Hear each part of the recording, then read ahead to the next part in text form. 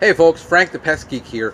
And listen, if you own a Flowzone sprayer, you know that that tip was not designed for spraying for pesticides, spraying lawn shrubs, or around perimeter. Let me show you a hack that I made to simply solve that problem.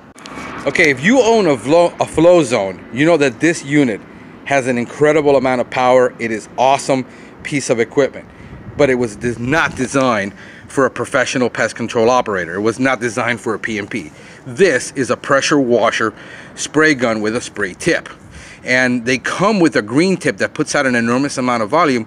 I replaced this one with a smaller tip. The smallest one is a, I think it's a two gallon per minute tip with a 15 degree angle.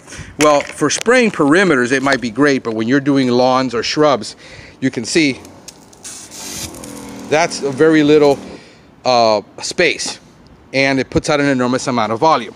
As PMPs, we need to have the option to have different things that we do and we have what are known as TeeJets and these different nozzles are different volume with all 80 degrees it'll do a, a big difference in when you're spraying shrubs or lawn or for doing uh, precise applications with uh, herbicides and, and weed applications and, and different things. So you got some filters here and some heads.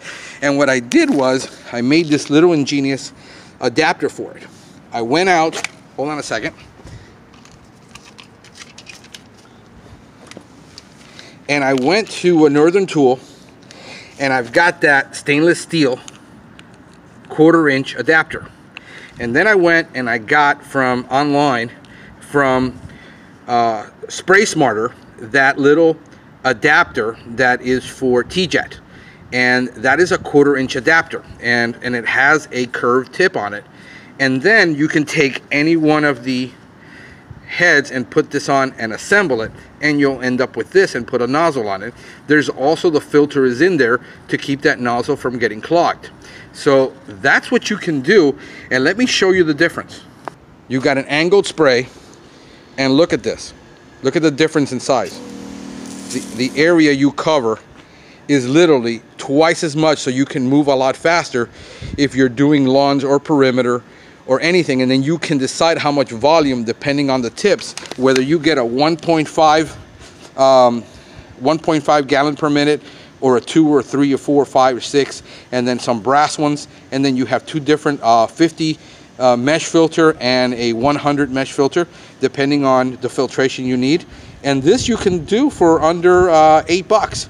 You can make this little adapter uh, for your TeeJet. So I hope it helps and uh, until next time, this is Frank, your Pest Geek.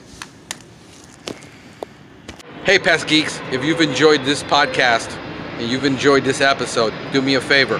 Give it a thumbs up, subscribe to the channel, and share it with your friends. Until next time, have a pestacular day.